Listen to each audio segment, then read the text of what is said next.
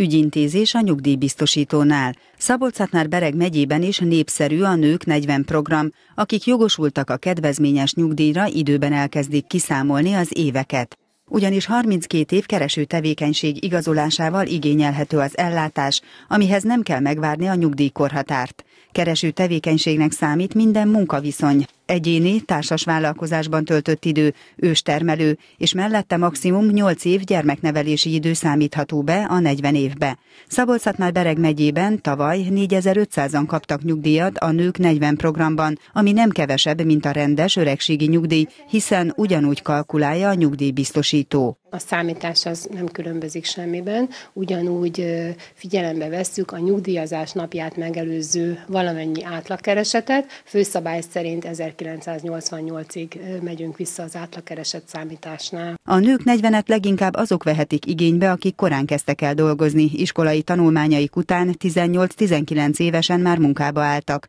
Ők 57-58 éves korukban már nyugdíjba mehetnek. Az iskolai évek nem számítanak be a jogosultsági időbe, viszont a külföldön bejelentett munka igen. A gyakorlat azt mutatja, hogy emellett a nyugdíj mellett még sokan dolgoznak is. Lehet dolgozni, de itt kereseti korlátot határoz meg a jogszabály. A minimálbér 18-szorosáig lehet keresni a nők 40-esen nyugdíj mellett. Ha eléri valakinek a jövedelme a minimálbér 18-szorosát, akkor azt követően a nyugellátása az adott évben szüneteltetésre kerül. És ez mindig fontos, hogy az adott évben nézzük, mert utána a következő év január 1-től újra folyosítják, mindaddig, amíg a 18-szorosát a minimálbérnek el nem éri.